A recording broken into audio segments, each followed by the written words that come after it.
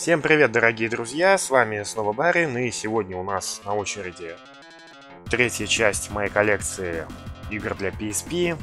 И сегодня у нас на очереди вот такая первая игра, это The, получается, Питер Джексон Kong uh, The Official Game of the Movie, то есть игра по кинофильму King Kong Питера Джексона.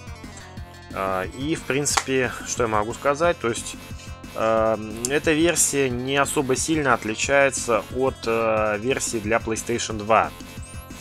Э, ну, по крайней мере, я так ее попрошел.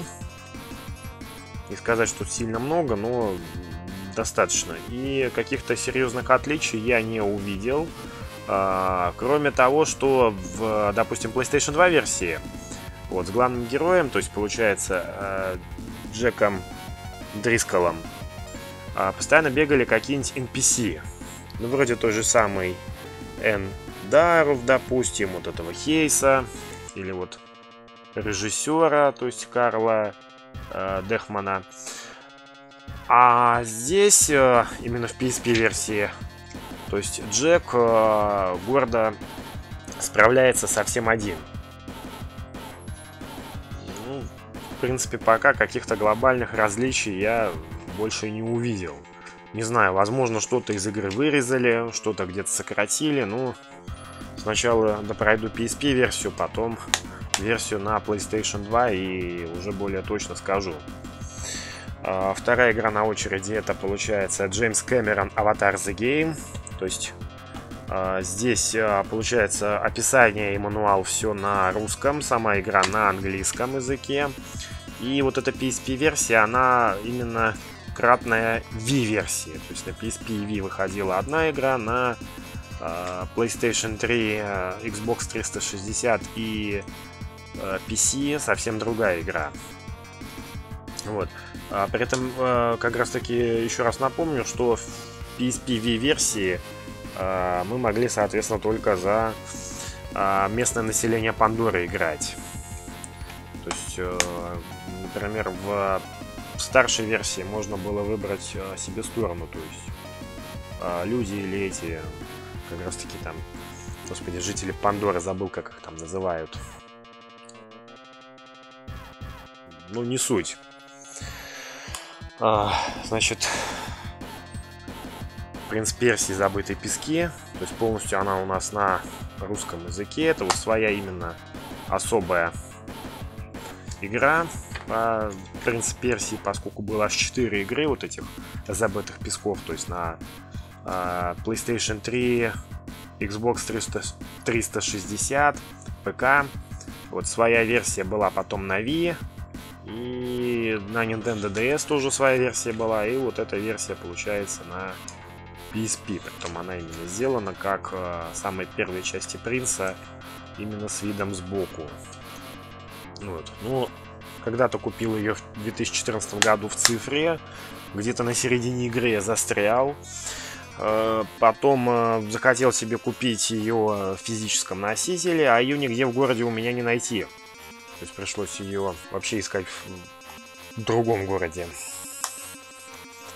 Э, значит, вот такая вот игра вверх по мотивам как раз таки мультфильма от студии Pixar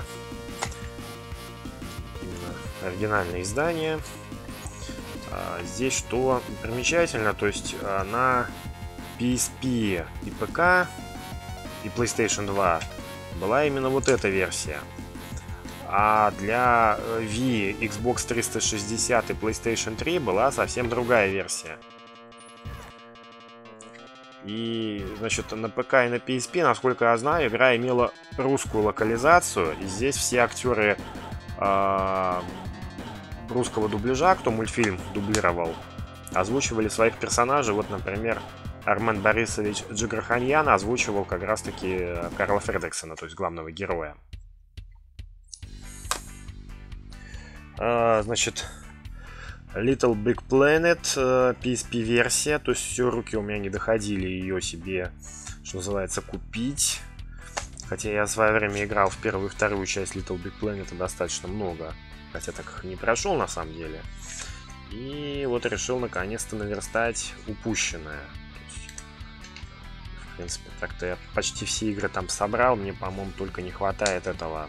Ну, из того, из тех э, консолей, которые у меня есть, только, по-моему, этого картинга.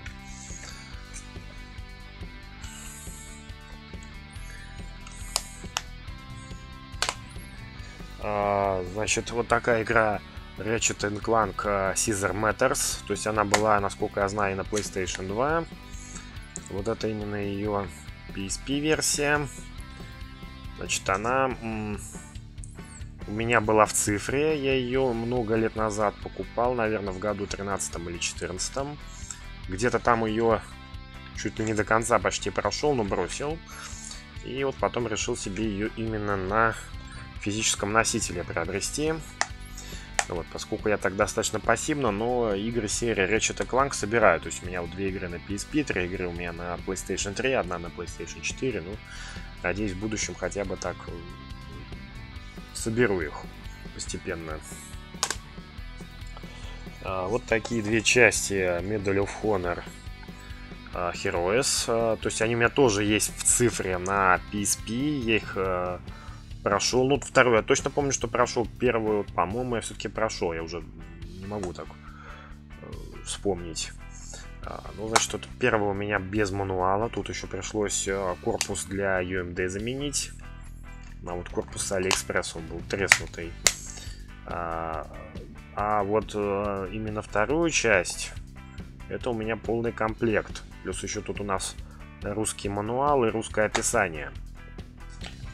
Ну, честно говоря, вот, э, например, стороне дачу так шутеры на PSP не очень нравятся, как они сделаны, ну, с учетом их управления, поскольку у нас все вот эти э, кнопки, там треугольник, кружочек, э, квадрат и крестик, они именно служат для вращения камеры. Ну вот я как-то приноровился, в принципе, мне вот э, нормально играется абсолютно, то есть никаких проблем у меня вот с этим не возникает. Так что, в принципе, игры хорошие, кто увлекается вот именно Medal of Honor, или кто, э, допустим, ищет на PSP шутеры, очень рекомендую. А, вот такая вот игра, это Евро 2008. Она полностью, кстати, на русском языке. А, у меня просто как получилось, э, с ней интересная история. Мне ее подарил э, Владимир Горбунов с канала Мнение дилетанта. То есть игра была в полном комплекте, но у нее был сломан корпус а, этого именно UMD. Притом, ну, сломан так, что все, уже диск этот никак не в PSP не вставить. И вот я себе в конце прошлого года заказал с Алиэкспресса вот эти корпуса для а, вот этих дисков UMD. Просто вставил корпус и все, игра отлично работает. Так что вот в коллекцию у меня еще и вот такое чудо есть. Значит, Валли. Игра как раз таки по э, мультфильму от Pixar. Но здесь, например, версия немножечко другая. То есть э, не та, которая была на третьем PlayStation или Wii. Ну, насколько я могу судить, я просто не знаю, сколько всего версий Валли было. Вот, это именно первое его издание самое. Значит, они, в принципе, игры похожие, по некоторым даже своим механикам, а, но достаточно они, в принципе, разные. То есть, например, кстати, вот в этой игре можно других роботов Валли, кстати, увидеть. Вот чего не было именно в старшей версии даже и в самом мультфильме. Значит, э, вот такая вот диалогия это Sonic Rivals. Это значит, у нас получается игры для вот PSP про Соника были, то есть они в такие, ну, чем-то, я не знаю, раннеры, что ли, своеобразные напоминают, только с видом сбоку, где Соник лично с кем-то на перегонке гоняется, ну и потом, соответственно, сражается с боссами. То есть вот это полностью еще русская версия, то есть у нас здесь э, идет это получается, различные там компании за разных персонажей. То есть есть Соник, а, Костяшкин, Южик по имени Тень, Южик по имени Серебряный. Вот, и, собственно, мы вот за них можем какие-то эти миссии проходить и сражаться с доктором Яйкиным. Вот. Ну, в принципе, мне вот этот Sonic, кстати, нормально так зашел. Не знаю, многие его так ругают, мне, в принципе, понравилось. Ну и, конечно, вот Sonic Rebels 2, то есть он уже не русский. А, это вот именно оригинальное западное издание. Вот. Но, по-моему, я в него даже особо-то не играл. Хотя здесь персонажей уже больше. То есть тут уже и хвостатый добавился, и э, Руж, и, соответственно, вот этот Элма, Metal Sonic. То есть там что-то за них уже какие-то эти самые этапы появились. Вот, ну, не знаю, надеюсь, когда-нибудь руки дойдут и до этой игры, то есть я ее тоже пройду, потому что, в принципе, Соника я с детства люблю, то есть с шестого года, как впервые на Sega Mega Drive поиграл в третью часть.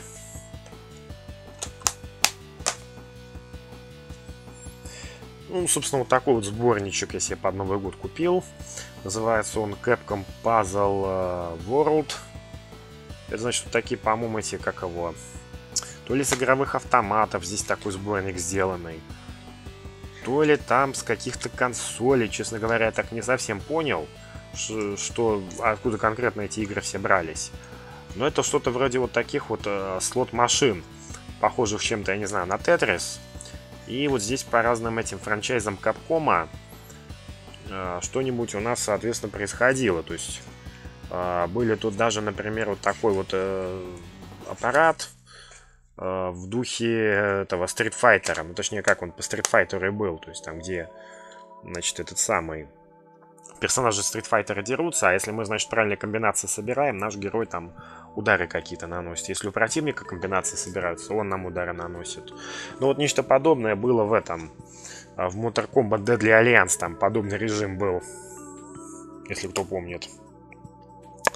Ну и, соответственно, такая даже последняя вещь, это даже не игра, это именно фильм, потому что на вот этих вот а, UMD дисках выходили фильмы, это, соответственно, этот Перевозчик 2 со Стэтхэмом. А, но самое, что как бы любопытное, то есть он у меня почему-то не воспроизводится на моей PSP. То есть пишут, что это неправильный формат, хотя это именно PAL европейский. Уж не знаю, в чем тут проблема. То ли а, наши вот эти PSP, которые нам завозились, вообще под эти UMD не делались изначально. Проигрывание. То ли просто E1008, вот эта PSP, э, их просто не поддерживает. Вот. Ну, вообще, честно говоря, насколько я знаю, вот такие диски на русском языке никогда не выходили. Как сказать русский пословец, гусь свинье не товарищ, а брат. Ну и хотелось бы закончить сегодняшний выпуск, э, показав свои диски для первого PlayStation, на котором у меня появились новые, поскольку явно пополняться моя коллекция будет достаточно долго, если вообще будет. Э, поэтому, значит, первая такая вот игра это Gex Deep Cover Gecko, то есть третья часть от Crystal Dynamics про Геккона Гекса. Вот, она у меня именно на первом PlayStation, поскольку самая первая игра у меня на Фридио, вторая часть у меня на Nintendo 64, и вот третья у меня на а, как раз-таки первом PlayStation. Притом, а, самое что забавное, здесь э, как раз-таки именно вот такие арты э, с гексом использованы в мануале именно от первой части. Вот здесь его костюмчики показаны, как он за игру переодевается. Она у меня, конечно, есть в цифре, то есть э, на PlayStation 3 и на PSP, но вот мне хотелось их себе в физическом, что называется, варианте достать. И вот я очень рад, что в том или ином виде вся коллекция Гекса у меня есть. Вся трилогия имеется в виду. А, значит, а, Формула 1 97. Это, по-моему, его, если не ошибаюсь, французское издание, если я ничего не путаю. Ну да, французское. Тут, по-моему, языки переключаются, но этот диск выходил для Франции. Вот тут еще самое что интересное, видите, цветной мануал. Такая достаточно большая редкость, тут все еще эти пончики описаны. Еще все это самое французском. описание всех вот этих трасс. Что там из каких стран идет.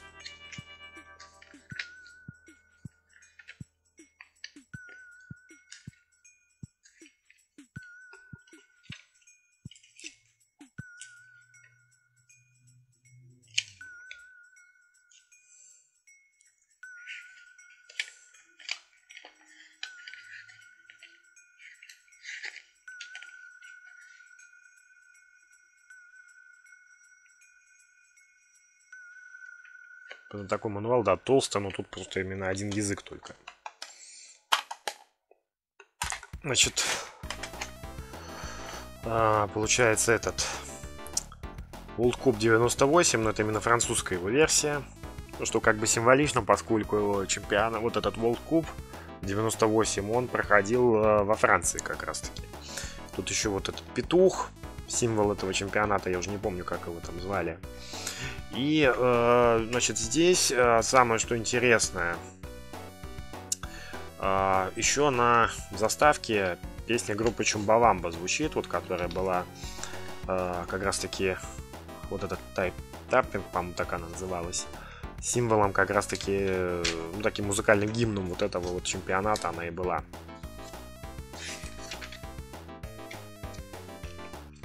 Ну, собственно, главным образом, наверное, чем эта игра и примечательна. И последняя игра на PlayStation 1. Это вот Story Studios по Мулану. Мне ее подарил Владимир Спартак с канала uh, This is Party и This is Game. Это его как бы основной канал This is Game. Uh, вот, то есть он просто знал как раз таки, что я вот Диснеем как раз таки увлекаюсь. И вот такую мне игру подарил. Кстати, самое что интересно, вот такая карта есть сзади на мануале.